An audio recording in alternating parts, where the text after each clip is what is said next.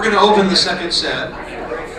Denis doesn't know this yet, but uh, I know I know he's got a story about the bari players and how this name was tuned with that was. That, that story would be every bari player that played with Maynard, they changed the name of the tune for the bari player. Take it from there. Keep going, you're going. This, this was written by Ernie Wilkins, and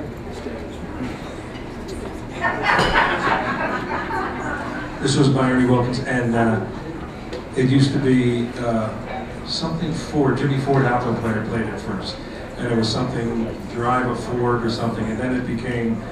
Uh, stay loose with Bruce. Bruce Johnstone was a bari player. He played it, and I always love this tune because it's a lot of fun, and it's a great key for bari and everybody else. But uh, then it became Glenn's Den when Glenn Kostur did it.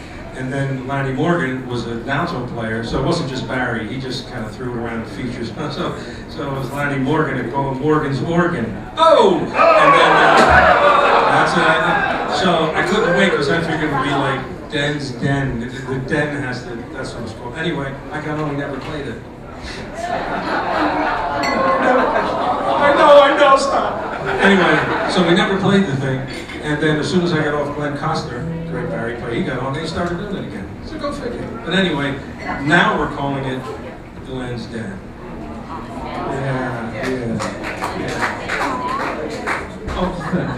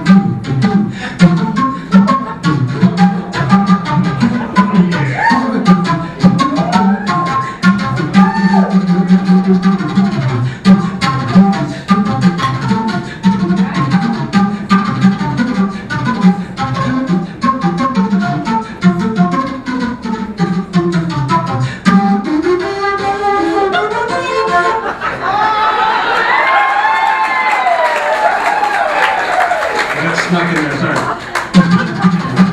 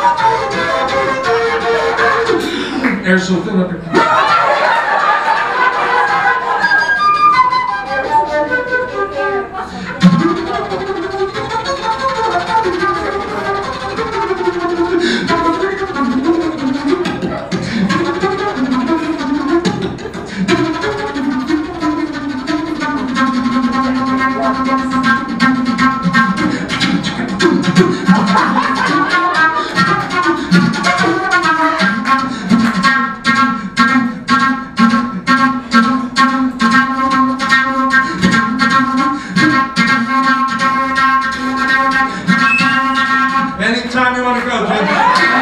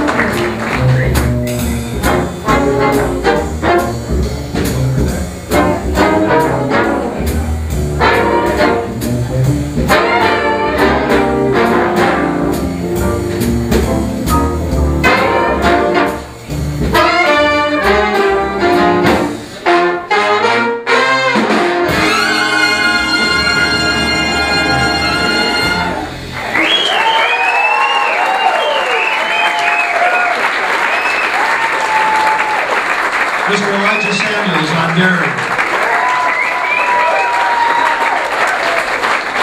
And that pesky Denis DiBlasio on flute. How about that?